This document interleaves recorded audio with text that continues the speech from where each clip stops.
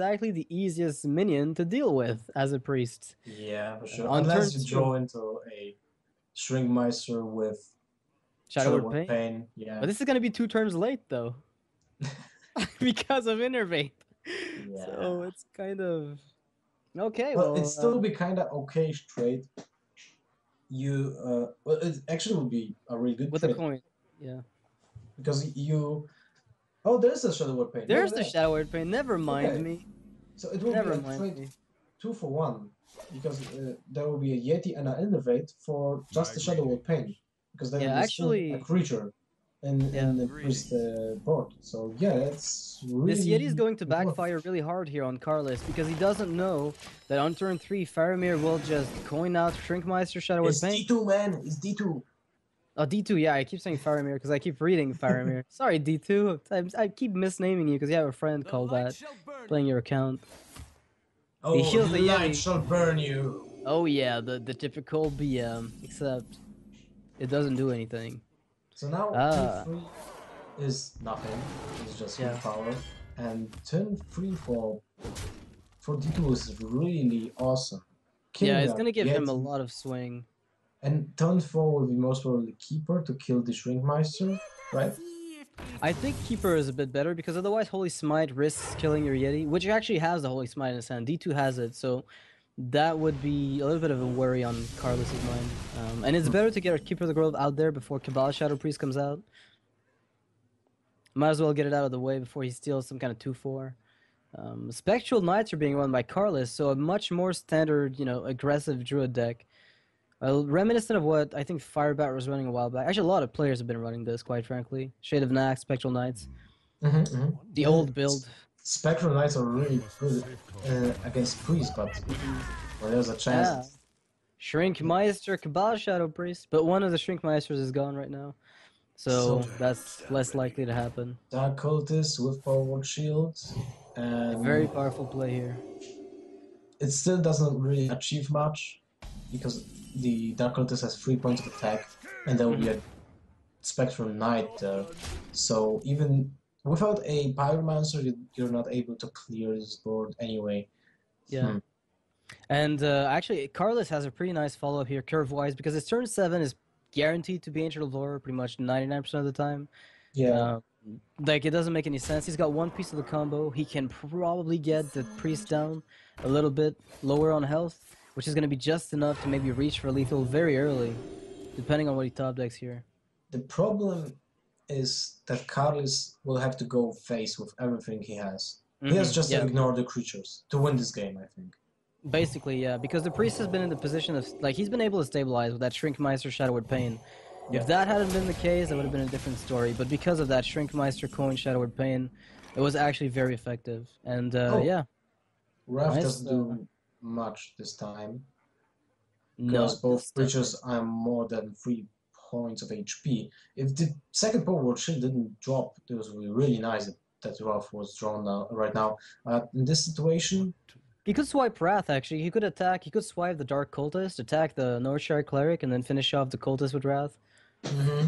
I think. Although, like, I can't well. say it's like the the most effective play in the universe, but it's definitely going to let him maintain tempo of this, because like there's nothing that can remove the Spectral Knight in the immediate sense. Even Yeah. Auchenai Soulpriest doesn't do it. Okay, so Shadow Madness is is useless. hmm for now. One Shrinkmeister was used, so there's no chance of actually using it uh, on a National level or a Yeti or whatever will be played. So Thought Steal here is probably a play you make uh, most of the time because you want to at least see what you can get from it before deciding whether you want to heal Oh, Dark Cultist. He picked up a Shade of Nax. I don't know exactly how relevant that's going to be. Um, Well, you can play it now. hmm Yeah, with Savage Roar, you can kill a Spectral Knight next turn. That's going to give you 5 damage to kill off that pesky thing. Oh, do well, you? which do you play now? I don't know. I think Ancient of Lore. I think Yeah. it's Ancient of Lore. Well, that was tempting, though. The Shade of Naxxramas Yeti here allowed him to set up a really nice Force of Nature Savage Roar if he found it in his deck. so Second that Ancient could be very man. nice. Will he actually use it in the next turn? Vol'jin, okay. Ah, I didn't think of Vol'jin as a new tool to deal with Spectral Knights, but that definitely would help uh, in some circumstances.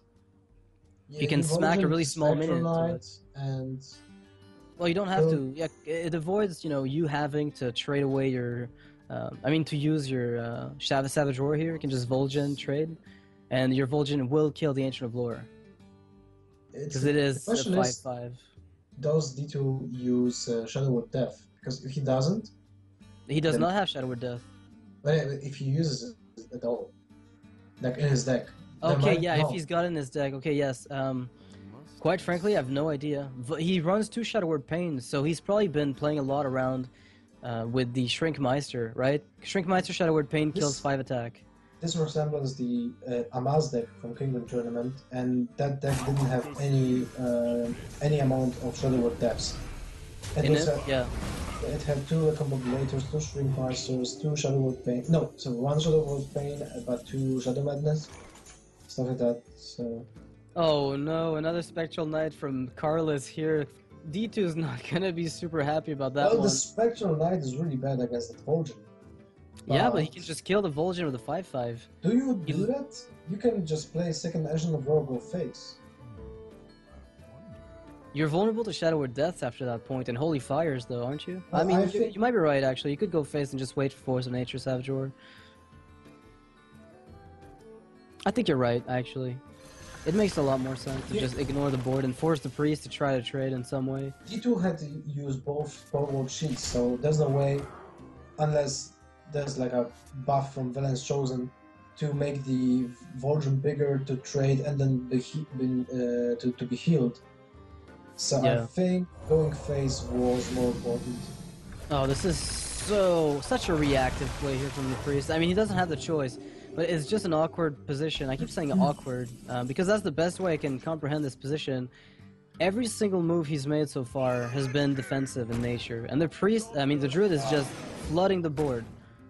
Two four More- creatures yeah. and one is untar- untargetable. So I mean, he would need. Actually, there's he would need circle of healing twice. or yeah, this and with- okay. exactly. oh, no, here's card that. Draw. Um, It's um. we played the Harrison Jones for nothing, yeah, and Harrison for I mean Auchenai for nothing, just a contest board. Ouch, that's harsh. Loatheb, oh and wow. now Loatheb to seal this. Uh, well, you can play Ragnaros too. Okay, if you play Ragnaros, there's a risk of mind control in your near Well, future. You can Possibly, but because yeah, you could ignore that. But I feel You like could play- Loatheb and Druid of the Claw to face is Just, yeah, just yeah. Really appealing here. Then again, you might be worried about Circle. Then maybe you use uh, Loatheb and one Shade of Naxxramas use a hero power, kill with the Yeti, the Auchenai, and go for 4 damage to face. Yeah, just set up a little kill on the Auchenai to make sure there's no Circle problems. Yeah, exactly. Yeah, that makes a lot of sense. I think that's that's the idea that Karlis is having right now. Yeah, and D- the thing is, D2 after Loatheb really can't do much. Like, he's got no follow up really after this because he needs spells to wipe the board, but those are locked out. Oh, okay, Oh, wow, he clearing the board. the board completely. Oh, Playing very Oh, yeah, safe okay. here. he's It makes sense. I was thinking about leaving the Harrison Jones, but maybe that's better. Okay. Because then you don't lose Loatheb. Yeah, but now you can't really play anything.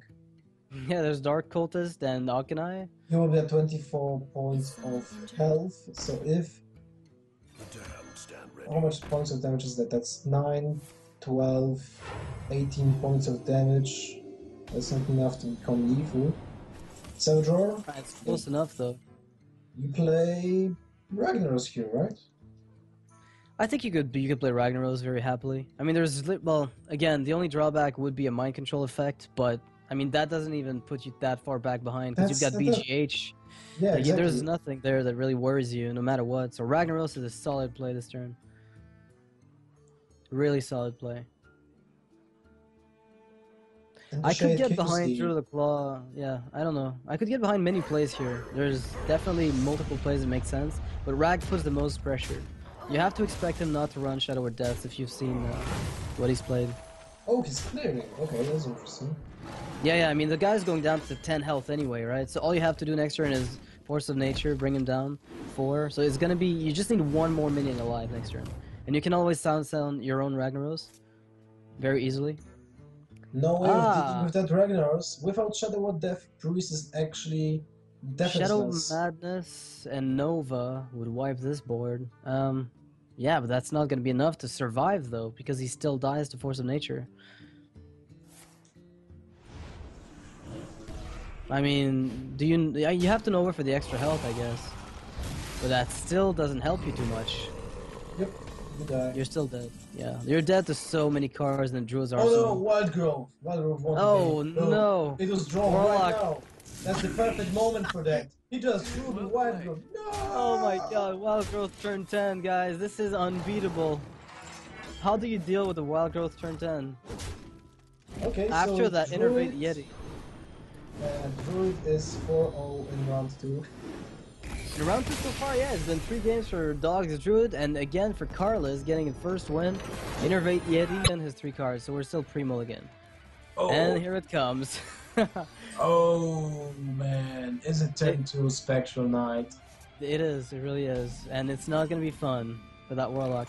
Although, this is one of those situations where you have to make the judgment call, because if Molten Giants come down too early, the thing is, this deck runs double combo, as far as I'm aware. Mm-hmm. And um, that's one of the easiest ways to race Warlock. Well, you can do two ways. You can play Shade of Naxxramas in 2 into Spectral Knight turn turn 3, four. Or the other way around. Yeah. Shade of Nax might be a bit more of a safe play. Because you get turn 3 Spectral, turn 4 Yeti now that you top deck the Yeti. Yeah, yeah, yeah. You got a great curve, and you're building a really strong board. Like if you, if Karlis draws into a keeper in the next two draws, Oh no, that would be that would be like he could actually just kill out Twilight Drake right away, and there would be no no opposition from D two for a long time now. Yeah. Wow. so now, now you play the Spectral Knight for sure. I, mean, I can't imagine any other play really. yeah. And go face with that three points of damage. I think you do. A Dark Bomb is a bit too risky, so you probably just pass and wait. Oh, he No, just no, goes face. Okay, go never mind. All right. Like, if, Yeah, Dark if Bomb he uses a dark bomb, then yeah, then there's no minion to interfere with your plans, so it's Yeah. kind of okay with you. Interfere with your plans. Evil druids having plans to dominate the world today. Oh, big game hunter. Oh, interesting. this is this is incredible. All right, so we're looking at a warlock on 15 health, turn four against a deck that is supposed to be somewhat slow. Um, I can I don't know what to think. So we're looking at. I mean, what do you play here? Do you have to play Antique Healbot? Because he does have, you You know, think eight health, so? three cane. Wow. Because Molten Giant is better, but if it gets played, there's no way he comes back from this. Oh man, I, I think doesn't he know won't it, but- heal. I, I think he won't heal because uh, he has that molten giant. If he plays heal, then he, the molten giant will not be playable. in, It'll be like- played next turn, because you're still gonna go down again. But it won't be enough. You will get 8 points of damage only, so you'll be still at 15. And at turn Yeah. 6, you can't play Molten Giant without taunt, so it doesn't make really sense. So if you kill Shade this turn, let's say you kill Shade this turn with the drag, the Drake, then you play Antique Healbot. Next turn he goes face and he attacks you for eight. Mm, He probably doesn't do that. He probably just taunts up. So no, I don't it. think so. You're right. Never mind. Doesn't make any sense at all. He taps into a Dark Bomb. Oh, wow. That doesn't help him at all, so he has to use, yeah, Farseal. Yeah. And actually, So now, oh no. mm, this is tough call. He can. Wouldn't you actually now kill the creatures and not go face? He can't go. He can't Shadow Flame, and Ragnaros is auto lethal. Okay, so The best you can do here is That's a Sun right? Fury, so you know, you play a Molten Giant and taunt up, and that's it. Yeah. I mean, the thing Um, is, Big Game Hunter, like, he, D2 might be playing around some kind of Black Knight if he doesn't taunt up the Molten. Like, I could see him do that, but either way, Big Game Hunter's gonna take care of it, right? Yeah, yeah. So, I mean, is this is this game actually? No, it's not. There's Dark Bomb. No, actually, it might be game. This is ridiculous. Because he taunts up. He has to use Coil, but he can't. So he has to Sun Fury the two biggest minions. Right? He doesn't have enough mana for the Antique Healbot on top. And if if he actually plays taunt on the giant, then he loses. He loses the game, exactly. So he has to kill a Spectral Knight with the little 3-3 and the 4-1, then taunt up the two remaining minions. And then he And- will just get 9 points of damage from that. But he's still dead, right? Yeah, he's still dead. Uh, wait, no. If he Ah, plays the game Big Hunter Hunter with taunt and not on the giant. Oh, he can't okay, play now I. BGH because he's got a giant in the play. Oh, right. Yeah, he okay. couldn't play the BGH. Oh, Oh, it's game. over now. It's game. Yeah, Oh, BGH two hero power. wild growths, insane. Oh, this is absolutely crushing. That's 5-0 for Druids in round two. Yeah. Um, wow. And you know what? I think if I think uh, D2 wanted to play the big game hunter and taunt it up, but he couldn't do it because he actually played his own giant first. Shield maidens, you know, they have a lot more survivability. Um, that's given them a little bit more reach or ability to survive a bit longer. Uh, to say that they're going to be able to stabilize in the mid game, was Karlis the one running Harrison Jones earlier, or was that Uh, someone else? Because I remember Sure. Druid. Too like- many druids, man. Too many druids. yeah, we've seen many Druids, and I think one of them was running Harrison Jones. This might be the one. Oh wow, the perfect curving here for Karlis again. Turn Turn three, for Yeti. Yeah, you turn three Yeti even. Turn for Yeti, yeah, yeah. Then Spectral Knight or Loatheb, and then Spectral Knight or Loatheb, and then uh, Shadow. Yeah, seems Yeah, nice. and there's actually no no weapon right now in uh, D2's hand to actually contest with this, so he might have to just shield block, coin, shield slam. It's still okay. Yeah, it's still a very nice play, honestly. Oh, he Oh, gets wow. shield slam. Okay, fine. Th- this may not be over yet. Yeah. Okay, this is very nice for him right now. Do you play And the Shield Maiden as well. Spectral Knight? What do you think? I think he plays Spectral Knight because, uh, then again, I mean, what's the point of Loatheb here? What does she really prevent? It dies to Death Bite, I guess, or I'm, I'm not really sure. I feel like. Spectral Knight could have been a decent play as well. Hmm. Interesting. I think Spectral Knight will also achieve the same thing because uh, now he wants to kill the armor smith. Oh no, because He wants to remove the armor before anything else comes down, um, but he doesn't know that the you know D2 Second has shi- another shield uh, shield block in hand, so that's going to help him a lot. that double shield block shield slam is the MVP here. Yeah, most definitely. I mean, I uh, with an execute, th- there might be another line of play, but I feel like this is pretty straightforward. You can use, you know, Death's Bite later on to finish off the Spectral Knight if necessary. You could try to draw a card with the Acolyte of Pain on the Spectral Knight. Oh. I'm liking this. I'm liking this a lot. He might not even have. Oh, yeah, he might armor, and he's gonna be able. If he smacks the armor smith and the acolyte of pain, he won't even need to. I think you use the weapon here. You smack Well, down. what, what about what about fiery war? ah, Okay, you attack acolyte of pain and armor smith into spectral knight, then you shield slam Loatheb, then you fiery war axe down the spectral knight. Hmm, That's guaranteed to kill that. it, and you wipe you wipe the board guaranteed. Well, you guarantee more card draw with the this type of play. Yeah, yeah, most definitely. It's just to wipe the board, it would have been. Okay, yeah, the warrior has definitely stabilized right now. Oh, yeah, and the board again, shield block, shield slam, doing a lot of work. Hey, the druid's hand is pretty good, but the warrior's hand as well. Could this be just the way to kill druid? You just play warrior? Hmm. Is this the secret? Sylvanas. Sylvanas, okay. It's going to give uh, Karlis a little bit of a headache soon. Now the Ancient Lore goes down. And D2, very comfortable position. Does he develop his weapon or just armor up? Because he could have a decent follow up with minions next turn. I think I developing think the weapon. weapon, is. Yeah, yeah, I agree. That's uh, You're right. more interesting. hmm I agree. Become hunter, okay. So Does he have to just go face here and I think ma- so. do do the best? Because he does have two swipes. So when he does, if he does find a Because I mean, the, the Turn warrior here may Well- kill the minion with his weapon. So What do you think about playing the Druid of the Claw in taunt mode? It's not. Well, he's already played two shield blocks, so that could make some sort of sense. Um, but he's got weapon and acolyte pin execute, so you might get zero value out of it. If an execute is in his hand, you're just gonna get nothing at all, and Yeah, that's really right. problematic. yeah, you're right. Double Belcher. Now this is really important.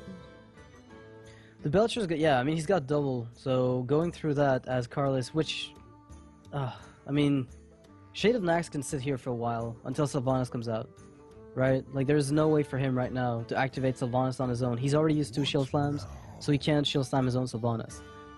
So Shade could sit there for a while until a brawl comes out at best.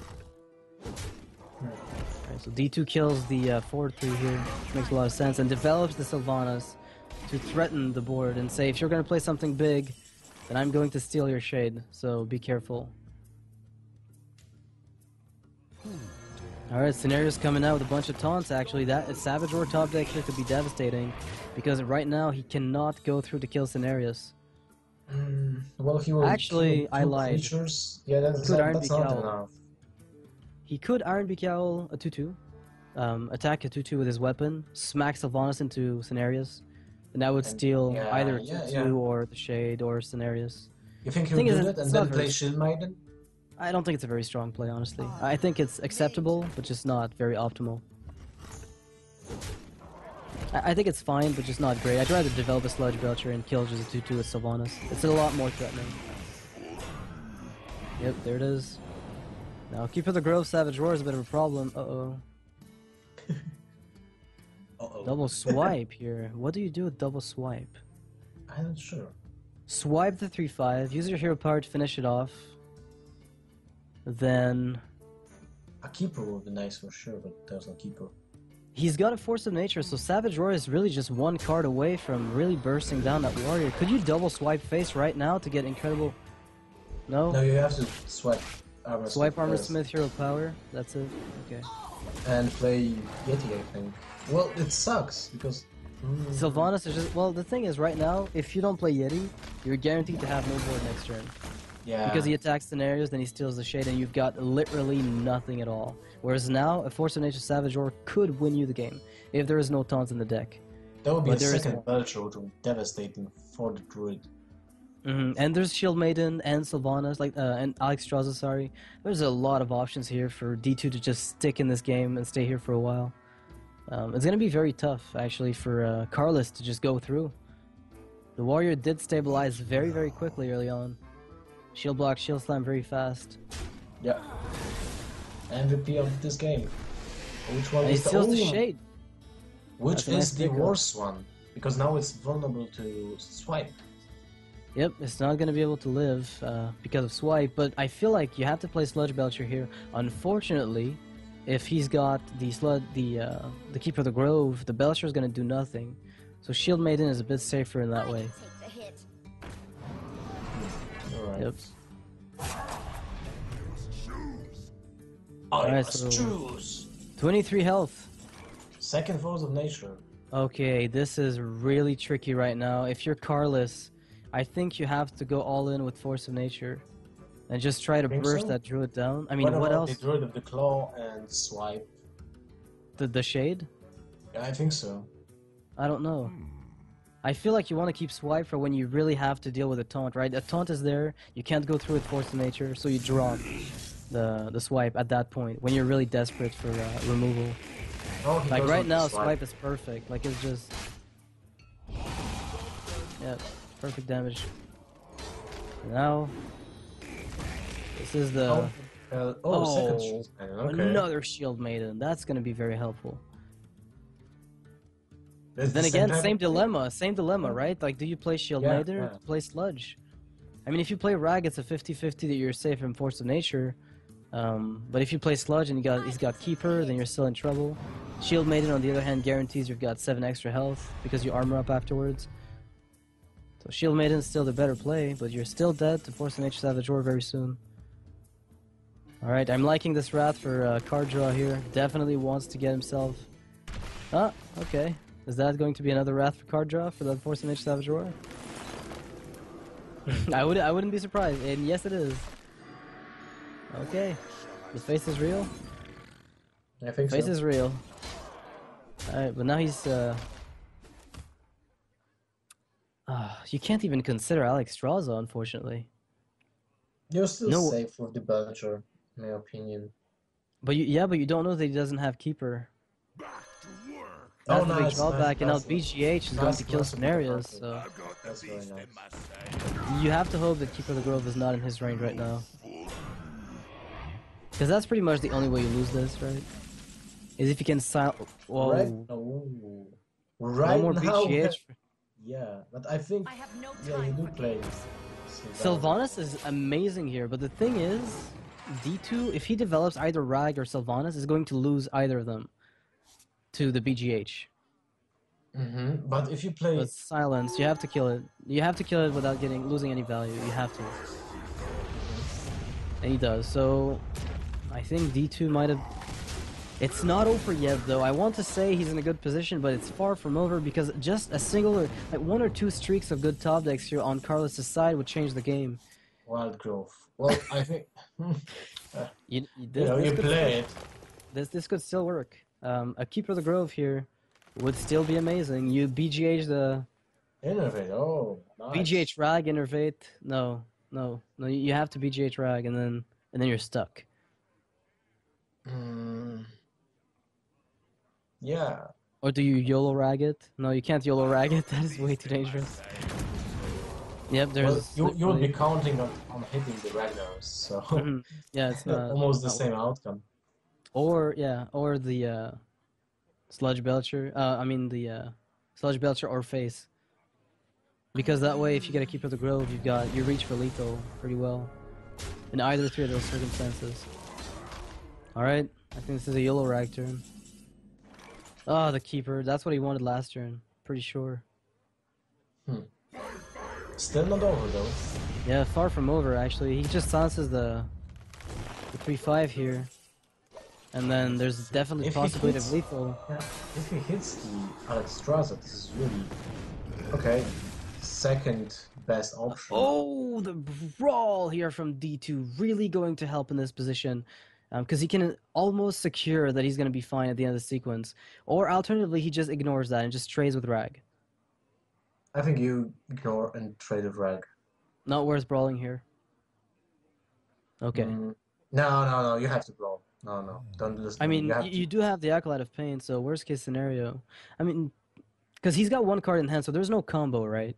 Like, Yeah. you pretty much expect there to be no combo. Um, Mhm. I think So- you you go face and go bro. W- Maybe we're first playing out like the 'Cause- pain. Yeah, I think you just play fire, maybe Fiery War Axe the face, um, then Acolyte of Pain. Do you trade with Rag though? I think trading with Rag might be a much safer play, but it doesn't play to win, right? That's the big No, issue. no, no. I, I don't think you can allow Druid to draw more than one card and you play to win. At this point, I think you just go all in and you pray. Um, because right now, that is a win condition, I believe. 8, 11, 10. Oh no, the top deck! Oh, look. Druid winning. Well, actually, yeah, yeah, he wins by exactly one damage. Oh, this is Oh, man. excruciating. Another Druid win, 6-0 in the round of two. So I'm. oh, God. This is absolutely crushing. Karlis and Dog going 3-0 each of them. That is crazy.